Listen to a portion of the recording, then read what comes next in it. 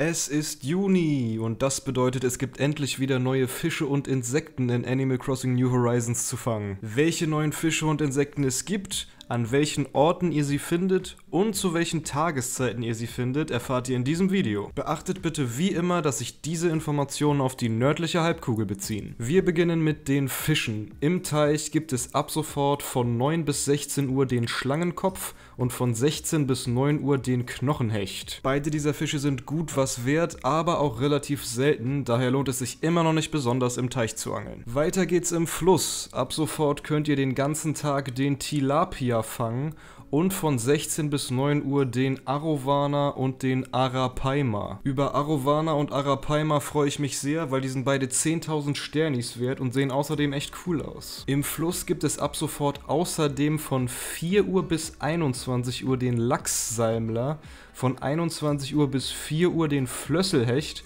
und von 9 bis 16 Uhr sowie von 21 Uhr bis 4 Uhr Piranhas. Der Lachssalmler ist mit 15.000 Sternis einer der wertvollsten Fische im Spiel. Der Flösselhecht ist auch nochmal 4.000 Sternis wert und damit lohnt es sich ab Juni endlich mal so richtig im Fluss zu angeln. Aber auch im Meer gibt es eine ganze Reihe interessanter neuer Fische.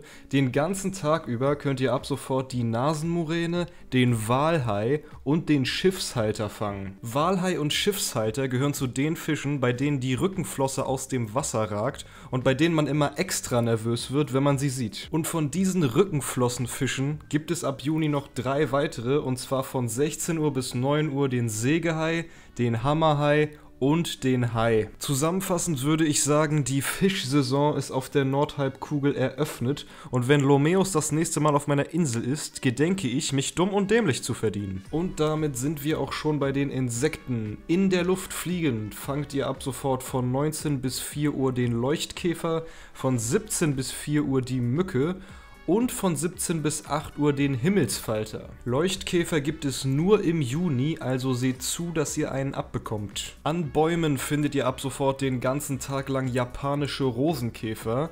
Den hätte ich mir vom Namen her mal ganz anders vorgestellt und von 19 bis 8 Uhr findet ihr Prachthirschkäfer, die ordentlich Kohle bringen. Und schlussendlich haben die Palmen, mit denen wir alle unsere Strände zugekleistert haben, nun endlich auch einen Zweck. Von 17 bis 8 Uhr findet man nun den Goliathkäfer.